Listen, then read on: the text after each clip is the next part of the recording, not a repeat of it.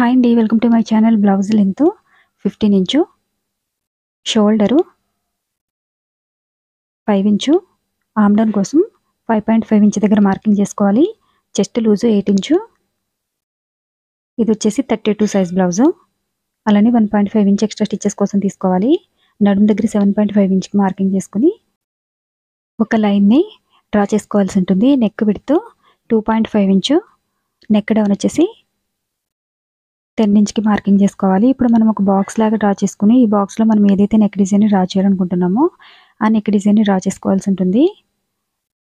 ఇంతవరకు మన ఛానల్ ఎవరైనా సబ్స్క్రైబ్ చేసుకోకపోతే సబ్స్క్రైబ్ చేసుకోండి. అలానే పక్కనే ఉన్న బెల్ బటన్ని క్లిక్ చేసి ఆల్ అనే ఆప్షన్ని క్లిక్ చేయండి. ఆల్ ఆప్షన్ క్లిక్ చేసిన వారికి మాత్రమే నోటిఫికేషన్ వస్తుంది.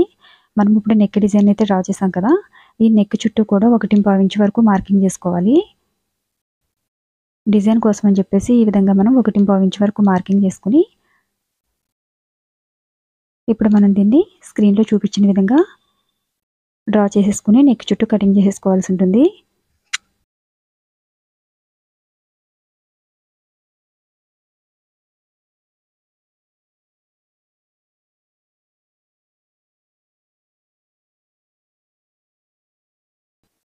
ఇలా నెక్ చుట్టూ కటింగ్ చేసేస్తాం కదా ఇప్పుడు.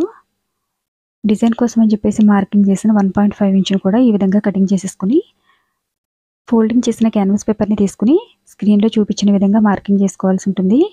ఈ పీస్ చుట్టూ ఫస్ట్ మనం మార్కింగ్ చేసుకున్న తర్వాత ఎక్స్ట్రా మనకి స్టిచ్చెస్ కోసం కావాలి కనుక ఎక్స్ట్రాగా క్యాన్వాస్ పేపర్ని ఒక హాఫ్ ఇంచ్ కానీ వన్ ఇంచ్ కానీ మార్కింగ్ చేసుకుంటే సరిపోతుంది.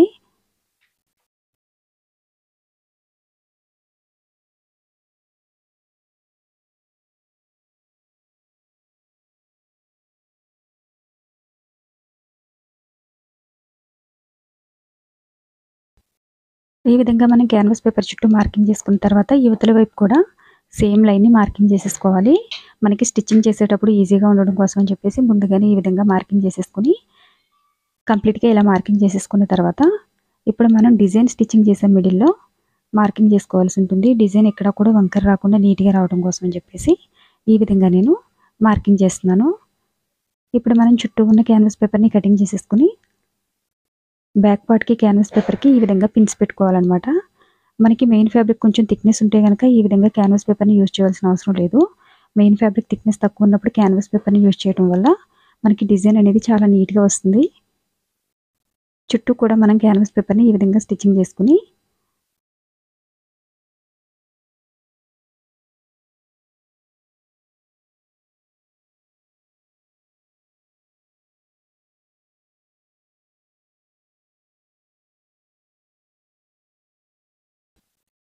కంప్లీట్గా స్టిచ్చింగ్ చేసేసిన తర్వాత క్యాన్వాస్ పేపర్ ఎక్స్ట్రా ఉన్న పేపర్ని కటింగ్ చేసేసుకుని ఇప్పుడు మనం మెయిన్ ఫ్యాబ్రిక్ని అలానే ఈ లైనింగ్ క్లాత్ని కలిపి ఫస్ట్ మనం లూజ్గా ఒక స్టిచ్చింగ్ వేసుకోవాలి. రెండు కదిలిపోకుండా ఉండడం కోసం. ఇప్పుడు మనం నెక్ చుట్టూ నార్మల్గా స్టిచ్చింగ్ వేసేసుకోవాలి. అలానే నడుం దగ్గర నడుం పట్టి వేయాలనుకున్న వాళ్ళు నడుం దగ్గర అయితే స్టిచ్చెస్ వేయవసరం లేదు. లేదు పైపింగ్ చేసుకోవాలనుకున్న వాళ్ళు నడుం దగ్గర ముందుగానే స్టిచ్చెస్ వేసేసుకుంటే సరిపోతుంది ఇప్పుడు మనం నెక్ చుట్టూ స్టిచ్చింగ్ చేసాం కదా నెక్ మిడిల్లో ఉన్న క్లాత్ ఏదైతే ఉందో దీన్ని కటింగ్ చేసేసుకుని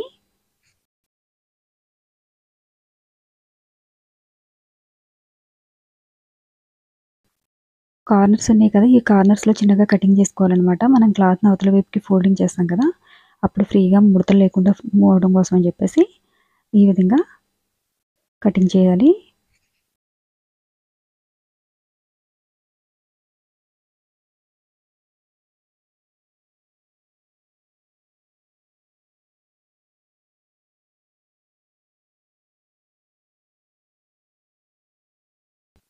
ఇప్పుడు మనం క్లాత్ నివతల వైపుకి ఫోల్డింగ్ చేసి ఇది ఫోల్డింగ్ చేసినప్పుడు మనకి నలిగిపోయినట్టు అనిపిస్తే కనుక లైనింగ్ క్లాత్ వైపు ఐరన్ చేసేసుకోవాలి.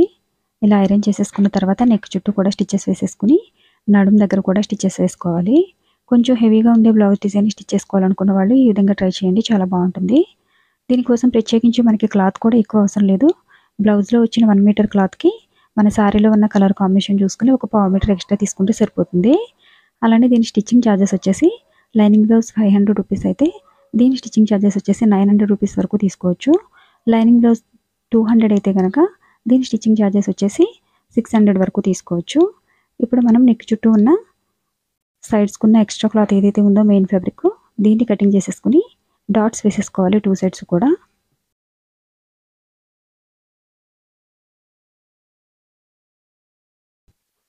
ఇప్పుడు మనం నెక్ మిడిల్లో డిజైన్ కోసం త్రీ ఇంచెస్ వెడల్పున్న క్లాత్ని తీసుకుని స్క్రీన్లో చూపించిన విధంగా ఫోల్డింగ్ చేసి స్టిచ్చెస్ వేసేసుకోవాలి. ఇలా స్టిచ్చెస్ వేసిన తర్వాత సైడ్కి ఎక్స్ట్రా ఉన్న క్లాత్ ఏదైనా ఉంటే దాన్ని కటింగ్ చేసేసుకుని బిగ్ సైజ్ నిడిల్ తీసుకుని క్లాత్ ఇప్పుడు అవతల వైపుకి ఫోల్డింగ్ చేసేసుకోవాలి. ఇలా ఫోల్డింగ్ చేసినప్పుడు మనకి క్లాత్ నలిగిపోతుంది కదా? అందు గురించి అని చెప్పేసి ఒకసారి ఐరన్ చేసుకుని మనం డిజైన్ కోసం కటింగ్ చేసుకుంటే చాలా నీట్గా ఉంటుంది.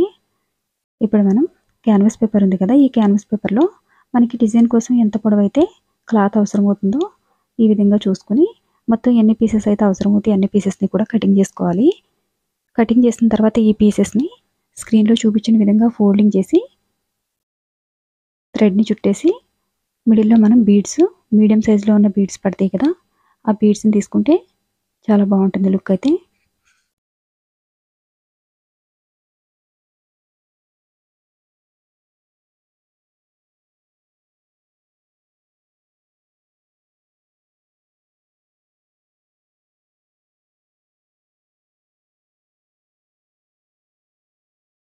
ఇలా మనం అన్నింటినీ కూడా స్టిచ్ చేసేసిన తర్వాత ఇప్పుడు మనం దీన్ని నెక్ దగ్గర స్టిచ్చింగ్ చేసేద్దాం.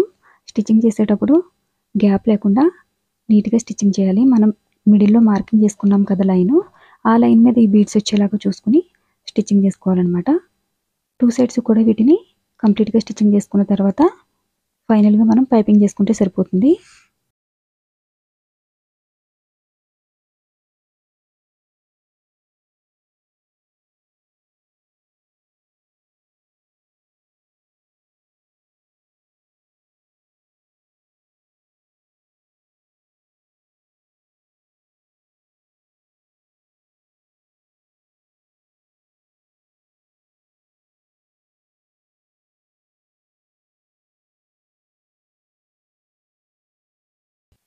ఇలా కంప్లీట్గా స్టిచ్చింగ్ చేసేసిన తర్వాత ఇప్పుడు మనం క్యాన్వాస్ పేపర్ని బ్యాక్ సైడ్ నుంచి కటింగ్ చేసుకోవాలన్నమాట. ఈ విధంగా కటింగ్ చేసేసిన తర్వాత గ్రీన్ కలర్ క్లాత్ తీసుకుని ఇది క్రాస్గా కటింగ్ చేసిన క్లాత్. దీన్ని ఇప్పుడు మనం వన్ సైడ్ ఫోల్డింగ్ చేసి స్టిచ్చింగ్ చేసేసుకోవాలి. దీంతో మనం పైపింగ్ స్టిచ్చింగ్ చేస్తున్నాం అనమాట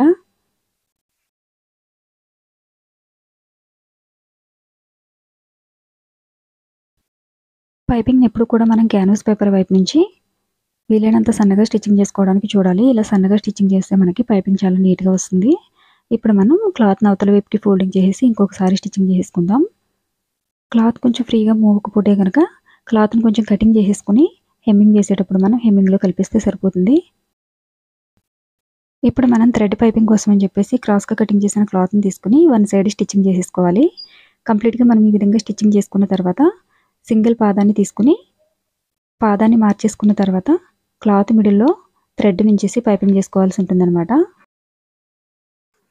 మనకి నెక్ దగ్గర నడుము దగ్గర ఎంతైతే పైపింగ్కి అవసరం అవుతుందో క్లాత్ అంతవరకు కూడా మనం ఈ విధంగా స్టిచ్ చేసేసుకుని ఎక్స్ట్రా సైడ్స్కున్న క్లాత్ని కటింగ్ చేసేసుకుని ఇప్పుడు మనం పైపింగ్ చేసేసుకోవాలి. ఈ కార్నర్స్ దగ్గర మనం డైరెక్ట్గా తిప్పేయకుండా కార్నర్స్ దగ్గర కటింగ్ చేసేసి క్లాత్ని మళ్ళీ స్టార్టింగ్ నుంచి స్టిచ్ చేసుకుంటూ వస్తే మనకు పైపింగ్ అనేది నీట్గా ఉంటుంది. ఇలానే టూ సైడ్స్ కూడా మనం ఈ పైపింగ్ థ్రెడ్ని కటింగ్ చేసేసుకుని మళ్ళీ స్టిచ్చింగ్ చేసుకుంటూ రావాలి.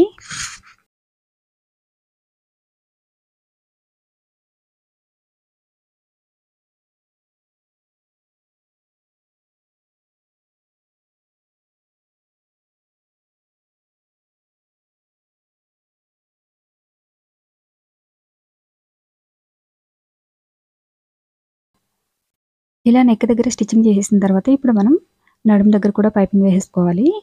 కంప్లీట్గా పైపింగ్ కంప్లీట్ అయిపోయిన తర్వాత ఆల్రెడీ మనం స్టిచ్చింగ్ చేసి పెట్టుకున్న డిజైన్ పార్ట్ ఉంది కదా. దాన్ని ఇప్పుడు నెక్క మిడిల్లో ఉంచేసి మిడిల్ నుంచి స్టిచ్చింగ్ చేసుకుంటూ రావాలి. మిడిల్ నుంచి స్టిచ్చింగ్ చేయడం వల్ల మనకి ఎక్కడా కూడా డిజైన్ వంకర లేకుండా నీట్గా వస్తుంది. ఇలా కంప్లీట్గా స్టిచ్చెస్ వేసేసుకోవాలి.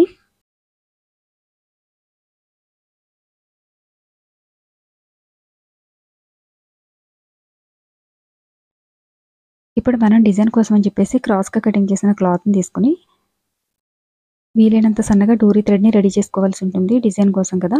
అందు గురించి అని చెప్పేసి చాలా సన్నగా డోరీ థ్రెడ్ని రెడీ చేసుకుని ఇప్పుడు మనం ఈ డోరీ థ్రెడ్ని ఉత్తర వైపుకి ఫోల్డింగ్ చేసేసుకుని దీంతో డిజైన్ ఏ విధంగా స్టిచ్ చేసుకోవాలో చూద్దాం.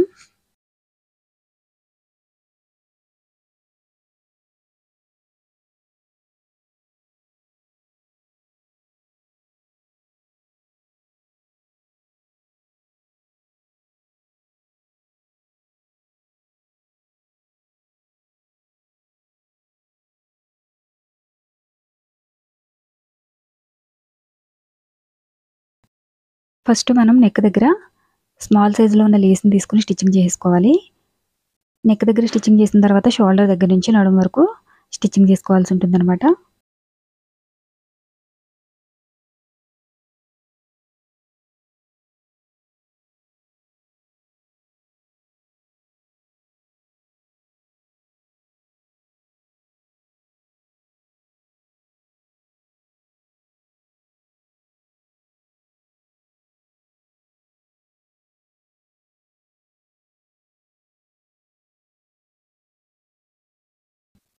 ఇప్పుడు మనం స్టిచ్చెస్ పెట్టుకున్న డోరీ థ్రెడ్స్ ఏవైతే ఉన్నాయో వీటిని స్క్రీన్లో చూపించిన విధంగా ఇలా స్టిచ్చింగ్ చేసేసి మనకి త్రీ బీడ్స్ పట్టే విధంగా ఇలా రౌండ్గా స్టిచ్చింగ్ చేసుకుంటూ రావాలి.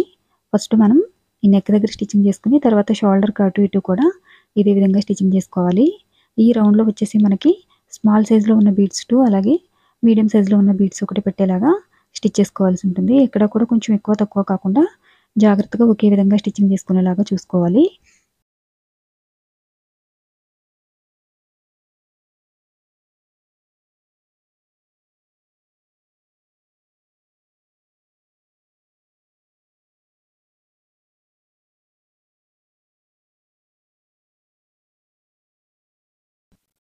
ఇలా నెక్ దగ్గర స్టిచ్చింగ్ చేసేసిన తర్వాత ఇప్పుడు మనం షోల్డర్ దగ్గర కూడా స్టిచ్చింగ్ చేసేసుకోవాలి.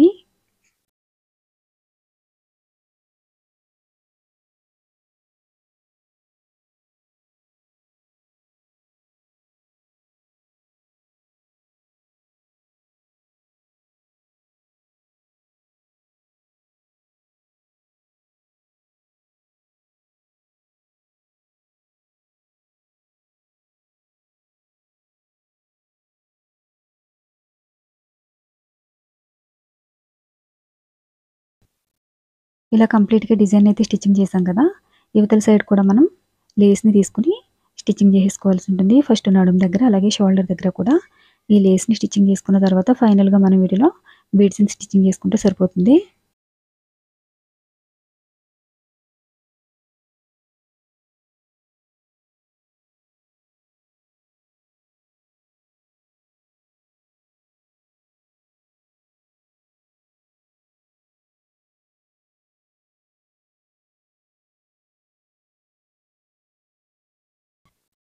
ఇప్పుడు డిజైన్ మిడిల్లో స్టార్టింగ్ స్మాల్ సైజు అలాగే మీడియం సైజు మిడిల్లో మళ్ళీ స్మాల్ సైజ్ బీడ్స్ వచ్చే విధంగా స్క్రీన్లో చూపించినట్టు ఇలా స్టిచ్ చేసుకోవాలి.